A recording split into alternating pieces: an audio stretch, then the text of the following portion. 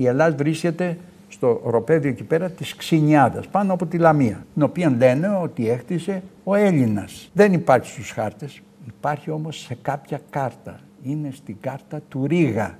Του Ρίγα. Ναι, στην κάρτα του Ρίγα υπάρχει η πόλη Ελλάς. Τι λέτε; Και δεν έχει ανασκαφεί.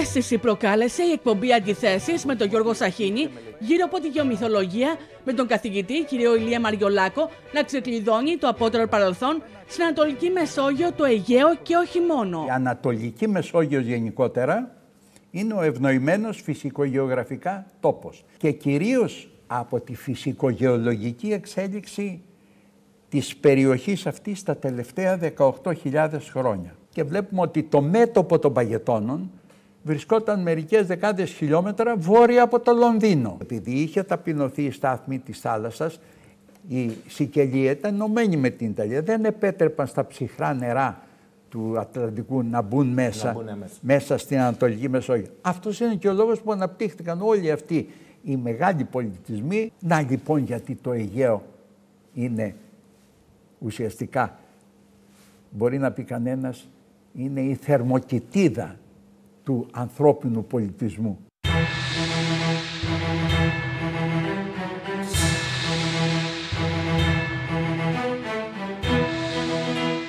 Ερμηνείες ιστορίας, χώρου και χρόνου, φυσικών και ανθρώπινων πόρων, με τη συζήτηση να επικεντρώνεται στην ελληνική γλώσσα, τη σχέση θεοτήτων με το περιβάλλον και τη μεταβολή της θερμοκρασίας, καθώς και στις μεταβολές στις περιοχές της Δήλου, Σαρονικού και σε άλλα σημεία του Αιγαιακού χώρου πριν από 18.000 χρόνια. Οι λόφοι αυτοί εδώ μετατρέπονται σε, σε νησιά. Γιατί είναι Θεός ο Αχελός, διότι ο Αχελός φέρνει το νερό και ανεβαίνει η στάθμη της θάλασσας.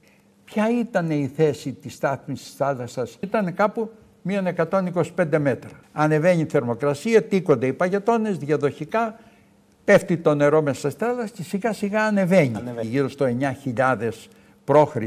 ήταν γύρω στα 45 μέτρα. Αυτή η μεσολυθική εποχή της Ελλάδας βρίσκεται σήμερα κάτω από τη στάθμη της θάλασσας γύρω στα 35 με 40 μέτρα. Άρα ο Σαρονικός κόλπος πριν 18.000 χρόνια ήταν Σαρονικός κάμπος. Δεν υπήρχε έγινε, η Σαλαμίνα ήταν ενωμένη. Τι είπαμε, πώς χαρακτηρίζεται ως, ο, ο Ποσειδώνας, ως πόρτμιος. Στην επόμενη φάση θα γίνει ισθμός η στάθμη της θάλασσας γύρω στο 15.000 ήταν χαμηλή. Επειδή ετήκοντο οι παγετώνες, το νερό αυξήθηκε οι παροχές και κατέβηκαν και ανέβηκε η στάθμη της θάλασσας και με αποτέλεσμα να περάσει το νερό και να πέσει στο Αιγαίο. Και σταμάτησε γύρω στο 12.500, λένε οι Αμερικάνοι.